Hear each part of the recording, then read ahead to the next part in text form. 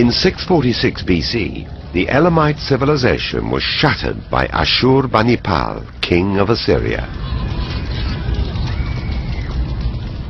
The Iranian tribes, on the other hand, eventually defeated the Assyrians and for the first time in history formed a noble and tolerant world empire. The Achaemenid Empire.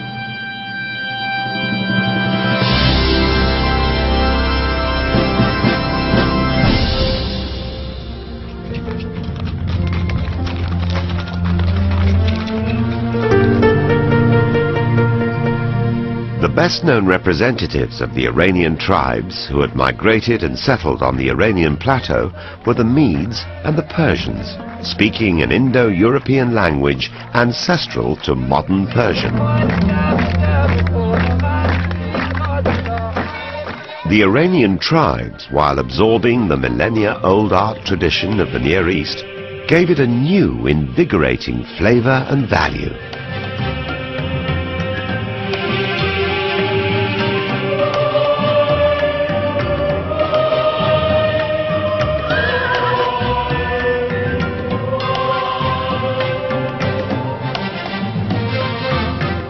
This could be seen in the findings from the sites in Marlik, Hassanlu and Ziviyer in present-day Gilan, Azerbaijan and Kurdistan.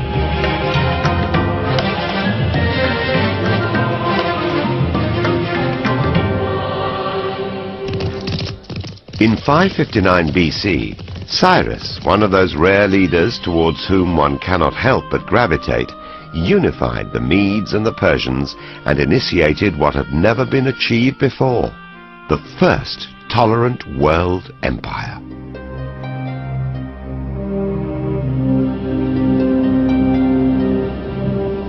The greatest symbol of Persian tolerance is evident in the Cyrus cylinder, an inscription found in 1879 at Babylon, sometimes referred to as the Cyrus Bill of Human Rights.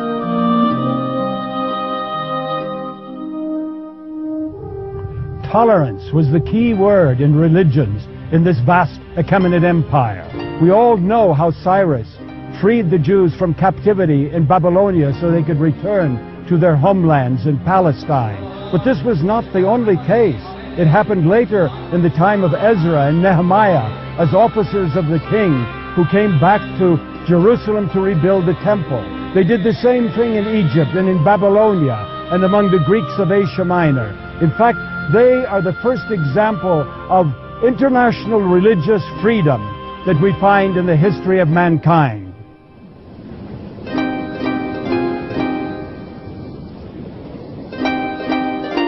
Because of biblical references to Cyrus, he was for centuries regarded as a model of a good ruler. Some Muslim scholars also find Zulkarnain in the Quran to be a reference to Cyrus.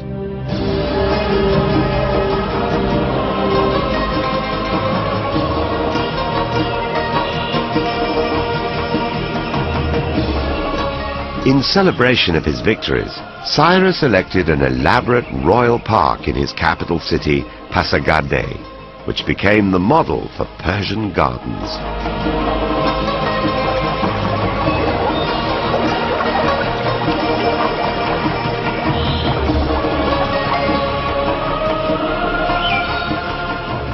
Since we had got two large rectangles, if we divided it with the vision of power, we got four parterres or a chaharbagh.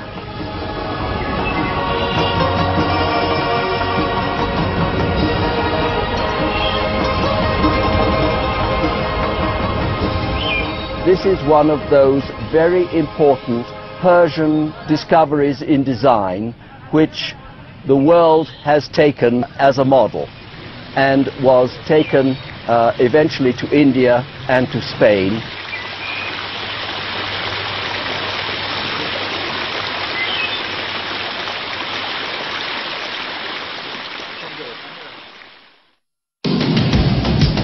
The most brilliant Achaemenid king in administration was Darius the Great, who brought the empire to its pinnacle.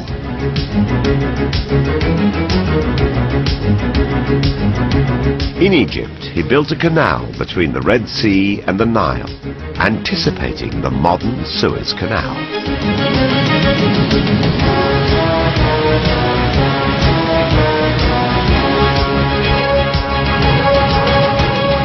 The same time, a great highway of 1,600 miles, stretching from Susa to the Mediterranean shores, was devised.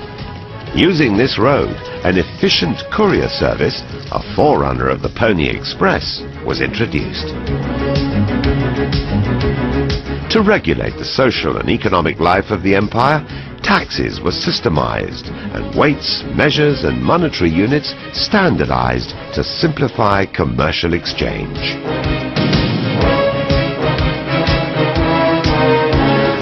In many ways, the Persian Empire was responsible for transmitting a myriad of cultural and technological achievements of the Near East to the Greco-Roman civilization.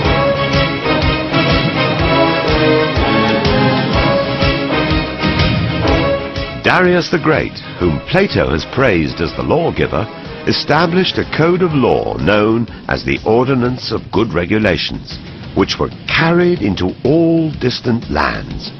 In fact, at this time, a new word for law appeared in the whole Near East, the Iranian data, which was borrowed by Armenian, Hebrew, and Akkadian languages.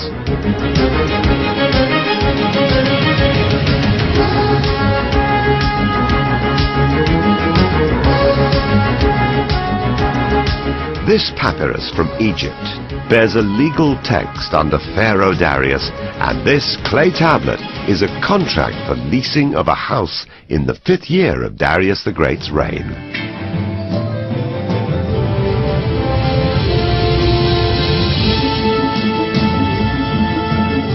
Some 2,500 years ago, Persepolis was the sumptuous capital of the great Persian Empire, which, according to Diodorus Siculus, was the richest city under the sun.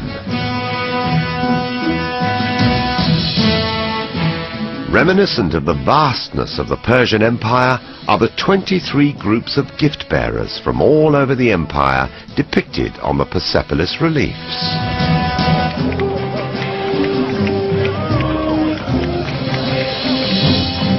Here, the dignitaries from all over the empire gathered for New Year's celebrations.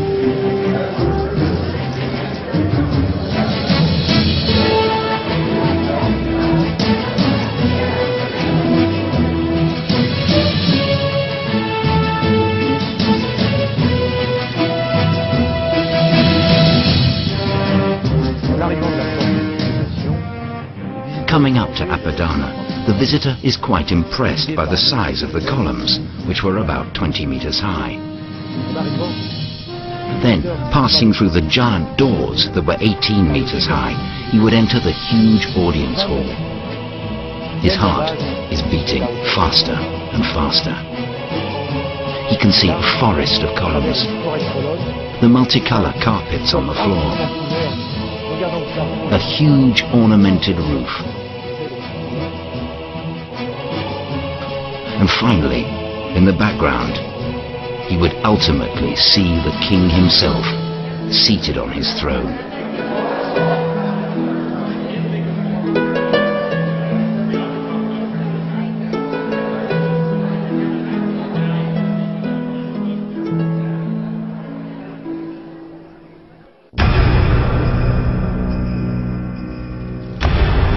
Unfortunately, in 330 BC, in an act of vandalism, Persepolis was destroyed by the fire kindled by Alexander and his Macedonian army.